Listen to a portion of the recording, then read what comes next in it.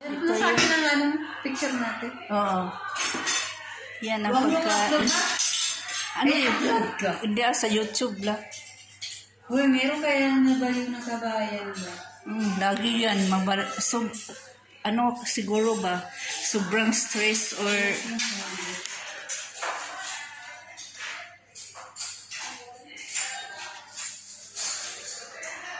Yan, ang daming food nila.